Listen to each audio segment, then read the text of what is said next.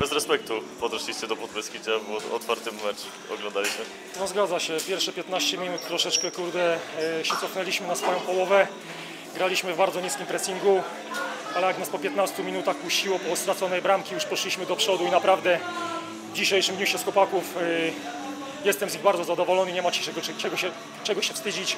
Dużo serca zostawili na boisku, mieliśmy bardzo dużo sytuacji, szkoda, że nie jeszcze postawiliśmy tej przysłowiowej kropki, kropki nad i, ale naprawdę jestem z chłopaków dumny. E, W tym meczu zabrakło Wam chyba tylko skuteczności, bo tam kilka bardzo dobrych interwencji Martina Polaczka.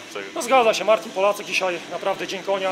Yy, chyba to był na jego, jego najlepszy mecz w pierwszej lidze, jak do tej pory.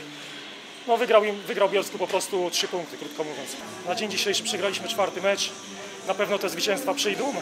Z- tak jak powiedziałem, z chłopaków jestem dumny. Cieszę się, że mogę w tym zespole z tymi młodymi chłopakami grać.